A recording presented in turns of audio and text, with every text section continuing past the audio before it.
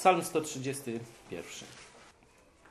Panie, nie wywyższa się serce moje i nie wynoszą się oczy moje. Ani nie chodzi mi o rzeczy zbyt wielkie i zbyt cudowne dla mnie. Zaiste uciszyłem i uspokoiłem moją duszę. Jak dziecię odstawione od piersi u swojej matki, tak we mnie spokojna jest dusza moja. Izraelu, oczekuj Pana, teraz na wieki. Zobaczcie, jak bardzo oczekiwaną rzeczywistość opisują. Jak bardzo wytęsknioną przez człowieka rzeczywistość stanu duszy, stanu psychicznego tutaj Dawid opisuje.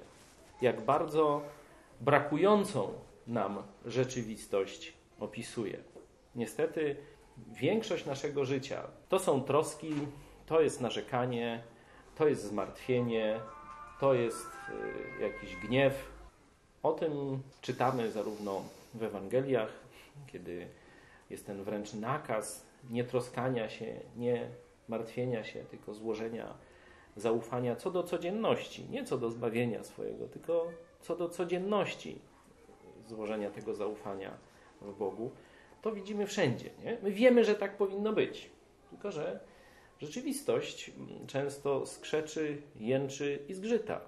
Nasze życie, kiedy próbujemy je porządkować, prowadzić w oparciu o swoje siły i efekt naszego życia opieramy o nasze możliwości, naszą siłę, nasze zdolności, nasze pomysły, no to jest taki, że właśnie się denerwujemy, że jesteśmy niespokojni, że jesteśmy niepewni co do przyszłości, lękamy się, co z tego wyjdzie, obawiamy się, że, że wyjdzie porażka zamiast zwycięstwa i tak dalej. No bo wiemy, jak niewiele możemy i wiemy, jak y, wiele czynników mm, negatywnych może pokrzyżować nasze przedsięwzięcia. Jak wielka jest skala ryzyka w życiu, które prowadzimy. Gdyby się tak nawet zastanowić, no to każdy nasz oddech, każde ściśnienie pompy naszego serca może się źle skończyć. Że gdzieś jest to ostatnie, ostatni skurcz serca i następuje jakiś wylew. Nie, nawet ten człowiek nie zdaje sobie sprawy, nic nie zrobił, żeby to się stało, a nagle traci świadomość i albo go nie ma, albo wróci sparaliżowany. Także nasze życie jest rzeczywiście obarczone ogromnym ryzykiem, nawet jak nic nie robimy. A jeszcze przecież nasze życie to jest aktywność na wielu polach. To jest zależność od różnych osób, za które my jesteśmy odpowiedzialni albo przed którymi jesteśmy odpowiedzialni. Stąd ta paleta niepokojów, paleta strachu, obawy o przyszłość, o efekty tego jest ogromna. I rzeczywiście współczesny człowiek, ze względu na to, że jeszcze szybciej żyje, jeszcze bardziej oddalony od tej zależności od Boga, no bo kiedyś no to, to nawet prosty człowiek wiedział, że wszystko jest w ręku Boga i mniej więcej to przeżywał. Wtedy przecież się mówiło dzięki Bogu, szczęść Boże.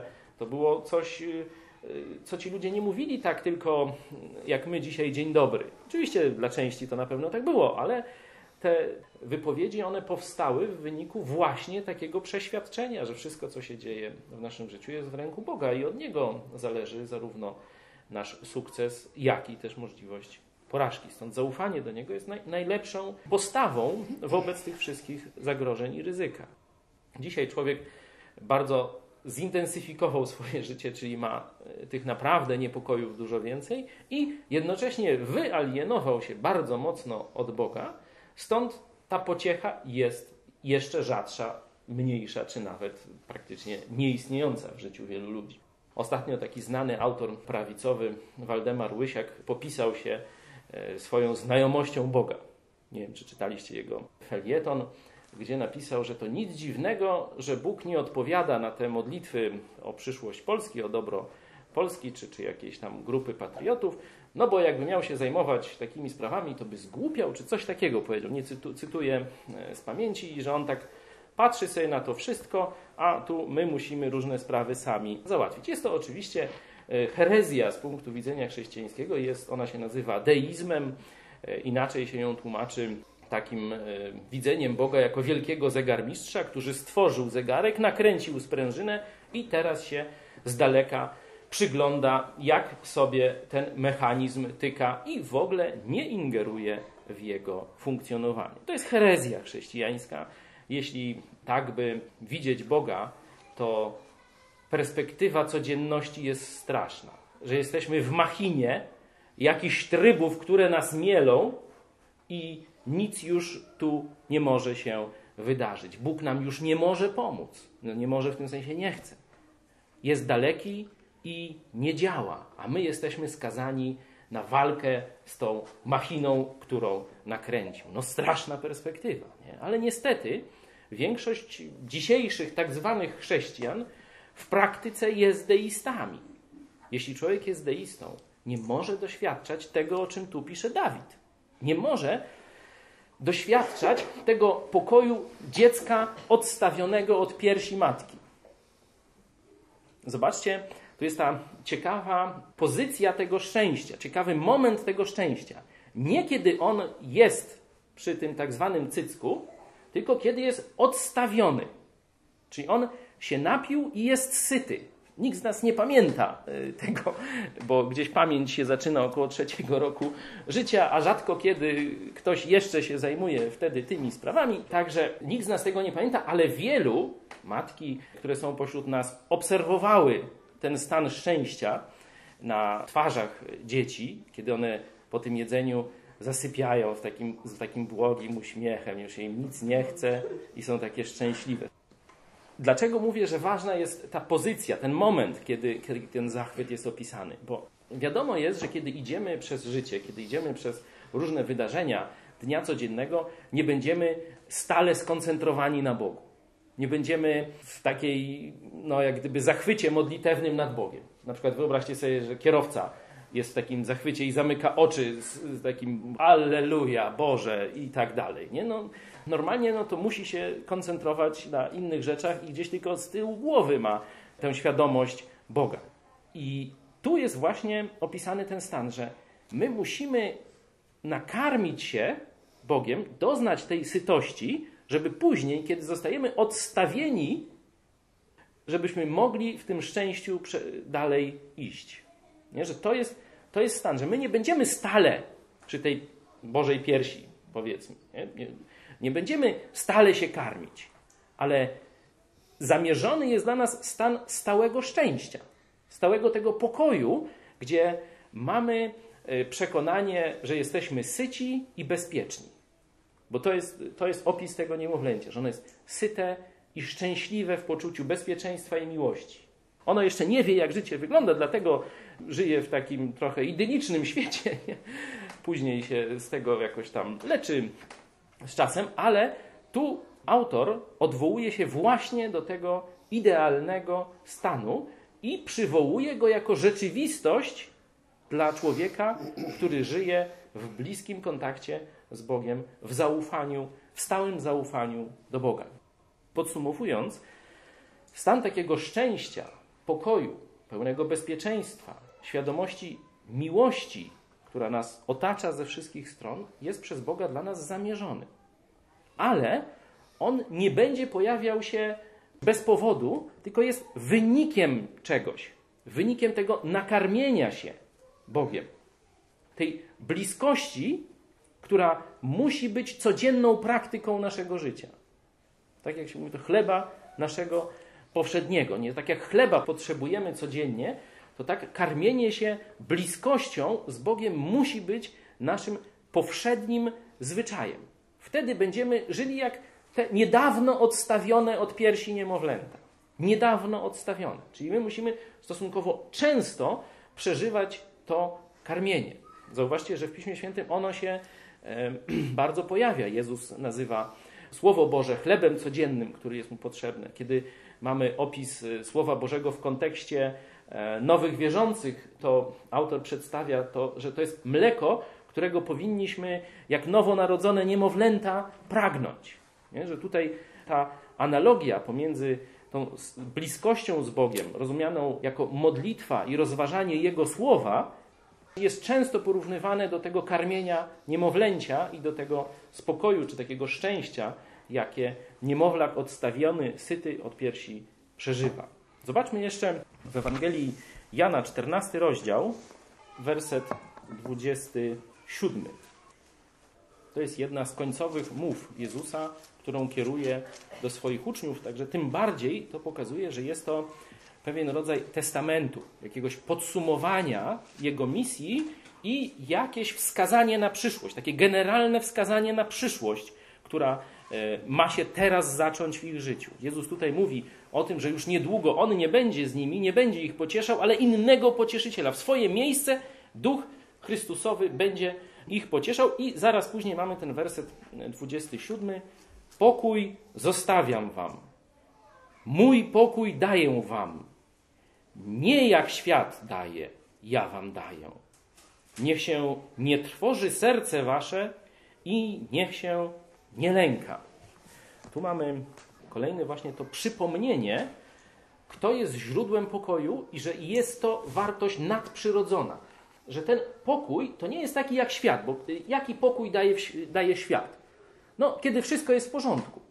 Można powiedzieć, że niewierzący człowiek, czy wierzący bez Boga, może czuć się szczęśliwy i spokojny, kiedy wszystkie okoliczności jego życia są pod jego, wydaje mu się, że są pod jego kontrolą i rozwijają się pomyślnie. Ale zobaczcie, jak rzadko takie chwile szczęścia się zdarzają. Zdarza się tak, niekiedy po ludzku czujemy się szczęśliwi. Niektórzy wspomagają to uczucie szczęścia flaszką, trawką, wtedy są bardzo szczęśliwi. Czyli w świecie możemy uzyskać taki stan nirwany, takiego pokoju, przez szczególny zbieg okoliczności, że nagle wszystko nam się dobrze ułoży, ale jest to bardzo rzadkie, niezależnie kto ma jakie możliwości finansowe i tak dalej, bo tu mówiłem, tych zmiennych jest tak dużo, że kontrolować je wszystkie, żeby tak nic nie mąciło tego naszego spokoju, to jest rzadkość. Albo kiedy otępimy nasze yy, postrzeganie rzeczywistości za pomocą alkoholu, narkotyków, nie wiem co tam, jakie są jeszcze wynalazki. No ale w każdym razie otępić, oderwać się od rzeczywistości, wtedy rzeczywiście możemy e, taki sztuczny stan pokoju, które, z którego później zostaniemy brutalnie wyrwani gdzieś kiedyś, nie? i rzeczywistość okaże się gorsza niż, niż nawet przed wprowadzeniem się w ten stan często, to jest to, co możemy mieć na świecie.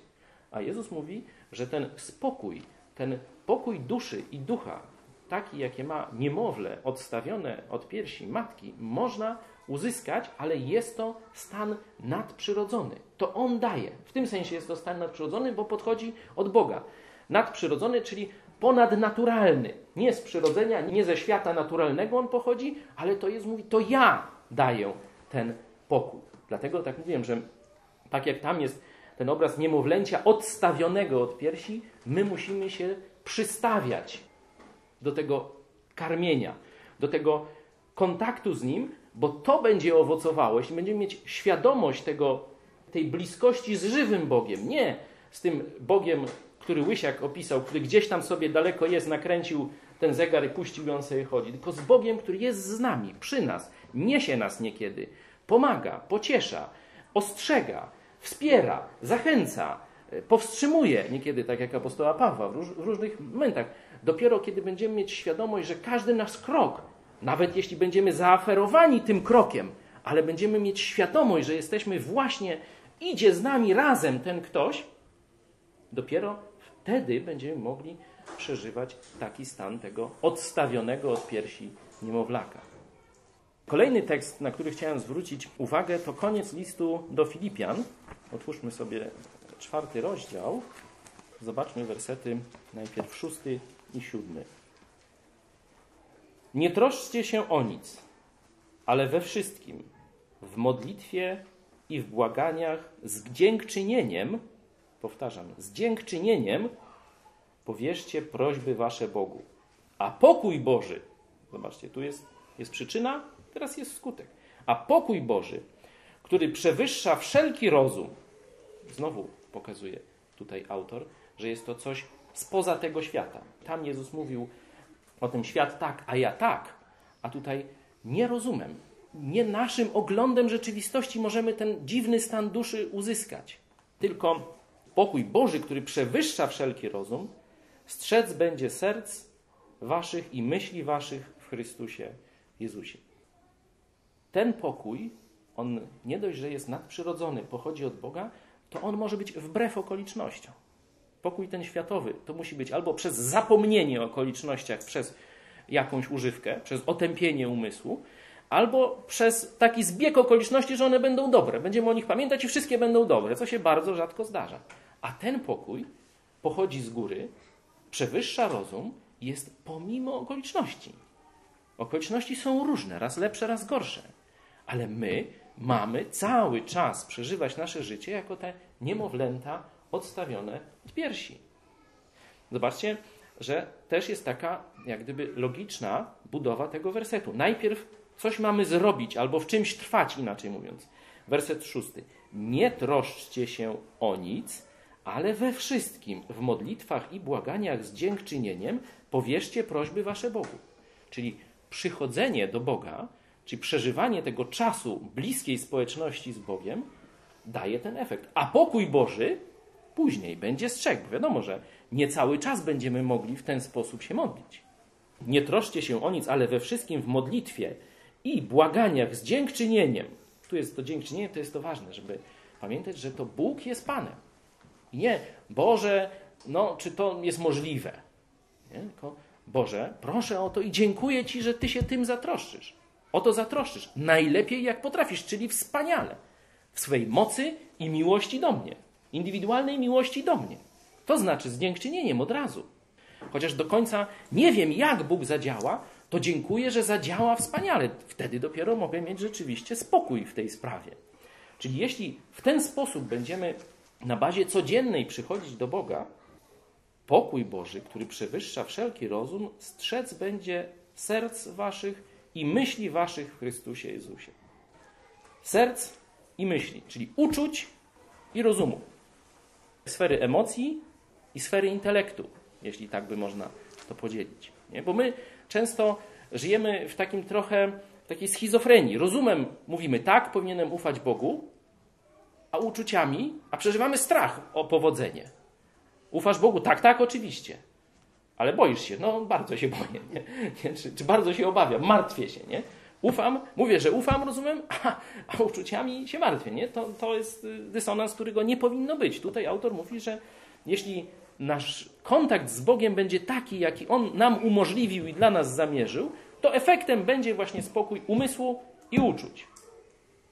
Tym miejscu to ja mówię oczywistości. To jest elementarz życia chrześcijańskiego, życia z Bogiem. Ale e, narracja idzie dalej. I zobaczmy dwa następne wersety. Wreszcie, bracia, myślcie tylko o tym, co prawdziwe, co poczciwe, co sprawiedliwe, co czyste, co miłe, co chwalebne, co jest cnotą i godne pochwały. Czyńcie to, czego się nauczyliście i co przyjęliście, co słyszeliście i co widzieliście u mnie. A Bóg pokoju będzie z wami. Zobaczcie, że kontekst znowu jest tego pokoju. Ale podane są dwa kolejne warunki. Nie tylko społeczność z Bogiem, nie tylko to przychodzenie do Boga na takiej ufnej modlitwie i zachłyśnięciu się, rozważaniu Jego słowa. Jest tutaj coś więcej, żeby ten stan po tej modlitwie, że przychodzimy do Boga, wspaniale, przeżywamy jakieś wzniosłe uczucia, jakieś, jakiś zachwyt Bogiem, jakiś y, niebiański spokój na duszy. No już tam nie wiem, co kto przeżywa. Zachwycamy się Słowem Bożym. Wspaniale. Odchodzimy i są dwa możliwe scenariusze. Jeden jest tu opisany. Myślimy dalej. Cały czas nasze myśli są skoncentrowane na dobrych rzeczach. O tym, co prawdziwe, poczciwe, sprawiedliwe, czyste, miłe, chwalebne, co jest cnotą i godne pochwały. Oczywiście można tutaj zaraz sobie listę przeciwności. I zachęcam do zbadania swojego codziennego monologu wewnętrznego.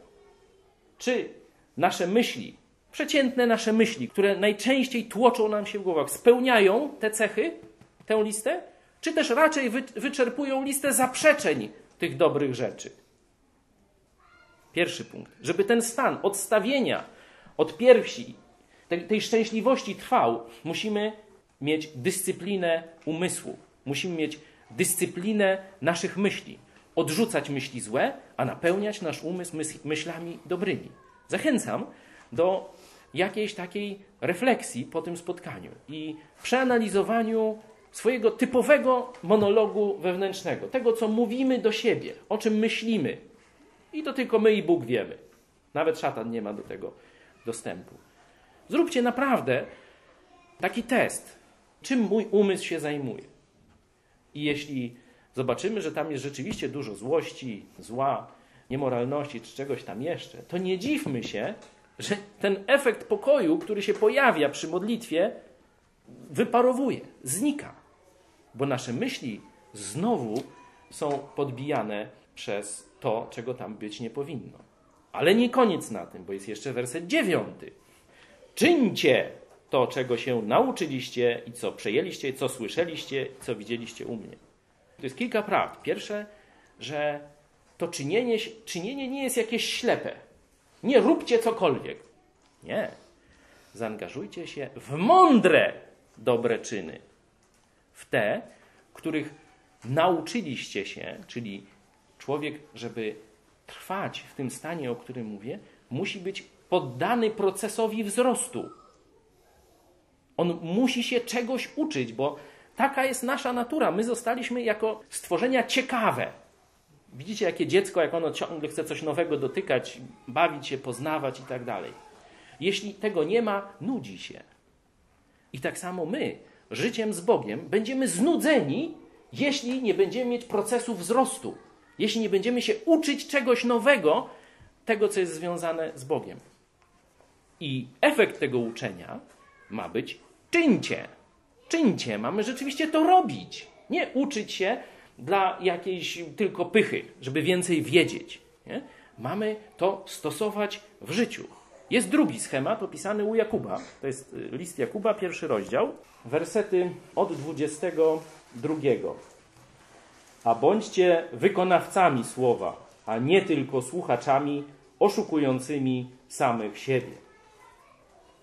Bo jeśli ktoś jest słuchaczem słowa, a nie wykonawcą, to podobny jest do człowieka, który w zwierciadle przygląda się swemu naturalnemu obliczu, bo przypatrzył się sobie i odszedł i zaraz zapomniał, jakim jest. A kto wejrzał w doskonały zakon wolności i trwa w nim, powtarzam, i trwa w nim, nie jest słuchaczem, który zapomina, lecz wykonawcą. I jest tu podany skutek.